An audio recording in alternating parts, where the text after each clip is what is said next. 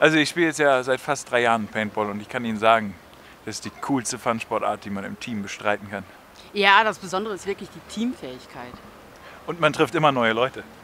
Das kann ich nur bestätigen. Erst gestern habe ich zwei G beim Breakout geschossen.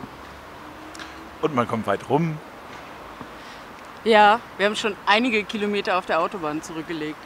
Es hat sich aber immer gelohnt. Oh ja, das hat es.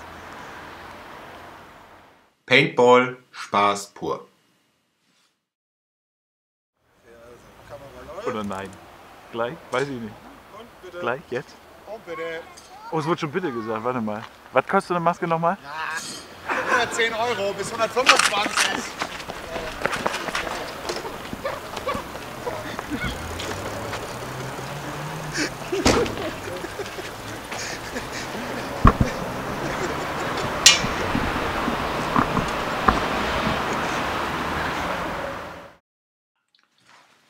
Paintball. Ich spiele jetzt schon seit drei Jahren Paintball und ich kann Ihnen sagen, das ist der coolste Funsport, den man mit einem Team bestreiten kann.